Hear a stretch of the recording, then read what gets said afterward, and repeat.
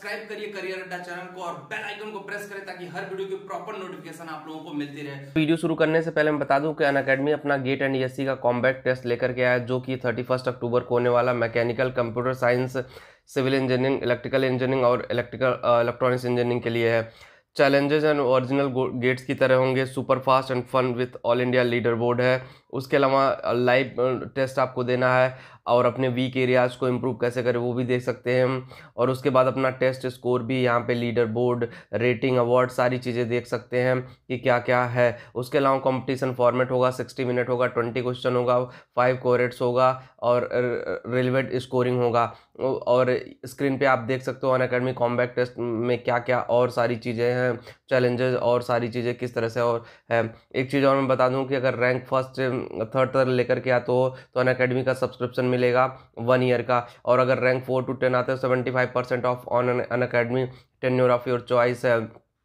Eleven to fifty लेकर आते हो, fifty percent on Unacademy plus subscription rank fifty one to hundred लेकर आते हो तो ट्वेंटी फाइव परसेंट जो है अन अकेडमी के सब्सक्रिप्शन मिलेगा। अब करना कैसे इनरोल ये देखिए गूगल पे आपको जाना है सर्च करना है अन अकेडमी गेट कॉम्बैक्ट उसका जो यूआरएल आएगा, उस पर क्लिक करोगे स्क्रॉल डाउन करोगे स्क्रॉल डाउन करने के बाद आप देख सकते हो कि जो टेस्ट की डिटेल आएगी। उसके बाद फिर आपको करना कुछ नहीं है। उसके बाद आप देख सकते हो combat on Unacademy web भी आप स्क्रीन पे देख सकते हो। उसके बाद आप how to participate in on Unacademy combat step भी आप स्क्रीन पे देख सकते हो। उसके अलावा अगर आप अन अकेडमी का ऐप इंस्टॉल नहीं किए हो तो enrol in Unacademy combat play store या पे जाएँ और Unacademy combat Unacademy का जो एप्लीकेशन है, वहाँ इंस्टॉल करके भी टेस्ट दे सकते हैं। तो सारे लिंक डिस्क्रिप्शन में दे, दिए गए हैं। टेस्ट फ्री है। मेरा कोड करियर अड्डा यूज़ करके इसको अनलॉक कर सकते हैं। अच्छा एक चीज़ मैं आपको बता दूँ कि गेट के एग्ज़ाम में अगर आप अच्छा स्कोर करते हो अच्छा नंबर लेकर के आते हो तो आपके लिए बेहतरीन अपॉर्चुनिटीज़ बहुत सारी जगहों पे होती है।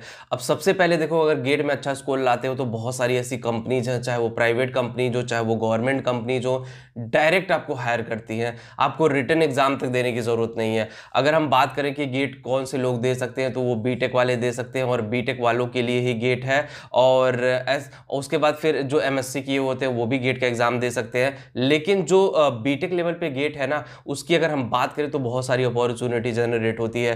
क्योंकि गेट का एग्ज़ाम अगर आप अच्छा स्कोर कर ले जाते हो। मान लो फोर्टी फोर्टी फाइव प्लस या सिक्सटी सिक्सटी फाइव प्लस तो अगर सेवेंटी प्लस भी स्कोर कर लिया तो ये डिपेंड करता है ब्रांच वाइज, किसी ब्रांच में हाई स्कोर होता है, किसी ब्रांच में लो होता है। तो वो अगर आप अच्छा स्कोर करते हो तो जो पी है, पब्लिक सेक्टर की कंपनी जो एन टी पी गेल हो गया, और भी बहुत सारी ऐसी कंपनी है, पीजीसीआईएल हो गया, ये डायरेक्ट आपको इंटरव्यू के लिए बुलाती हैं, और उसका जीडी होगा, और आपका सिलेक्शन हो जाएगा।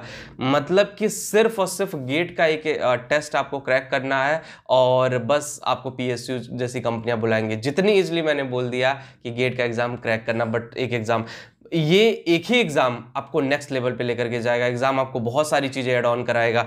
बहुत सारी ऐसी प्राइवेट कंपनीज़ हैं मल्टीनेशनल कंपनीज़ की मैं बात कर रहा हूँ। मल्टीनेशनल कंपनीज़ बहुत सारी गेट के स्कोर पे आपको डायरेक्ट बुलाती है इंटरव्यू कराएँगे इंटरव्यू का सीधे सिलेक्शन ले लेंगे। उसमें भी आ, जो रिटर्न क्राइटेरिया होता है उनका कि रिटर्न एग्ज़ाम लेंगे रिटर्न ये करेंगे वो ख़त्म कर देते हैं। तो कहीं ना कहीं Infosys T C S Wipro S C L ऐसी कंपनीज़ भी आपको गेट के स्कोर पर डायरेक्ट कॉल करेंगे और ऑब्वियसली आप आ सकते हो। इंटरव्यू के लिए। तो गेट के स्कोर करने पे बहुत सारे फ़ायदे हैं। मैं बता दूँ, बहुत सारे प्राइवेट प्लांट हैं जहाँ पे आप जॉब पा सकते हो। बहुत सारी गवर्नमेंट संस्थाएँ भी हैं कि जहाँ पे अगर आप चाहो तो वो वहाँ पे जाके जॉब कर सकते हो। और एक चीज़ और मैं बता दूँ कि गेट का स्कोर वैलिड टू ईयर्स के लिए होता है। और एक फ़ायदा ये भी है कि आप किसी अच्छी यूनिवर्सिटी से आईआईटी से एनआईटी से, किसी अच्छी डीम्ड यूनिवर्सिटी से जाकर के एम भी कर सकते हो। एम करने के बाद भी आपका जो फ्यूचर है वो भी बड़ा सिक्योर रहेगा। एम के बाद आपका फ्यूचर नेक्स्ट नेक्स्ट लेवल पे जाएगा। तो अपॉर्चुनिटी है, ऐसा नहीं कि अपॉर्चुनिटी नहीं है गेट के बाद। गेट के बाद अपॉर्चुनिटी बहुत ज़्यादा है। अब उस अपॉर्चुनिटी का आप किस तरह से यूटिलाइजेशन करते हो, ये ज़्यादा मैटर करता है। तो जो लोग अगर बीटेक कर रहे हैं, उनके लिए गेट एक रास्ता है। उस रास, इस गेट से होकर सबको गुजरना पड़ेगा, मैं बता दूँ तो। उससे दूरी मत बनाइए। उस पर आप काम करिए वर्क करिए। स्टार्टिंग से फ़र्स्ट ईयर से लेकर थर्ड ईयर तक वर्क करिए। उसके बाद फिर एग्ज़ाम दीजिए। अच्छा रिज़ल्ट लाएँगे अच्छा स्कोर करेंगे तो ऑब्वियसली आपका करियर अच्छा बनेगा।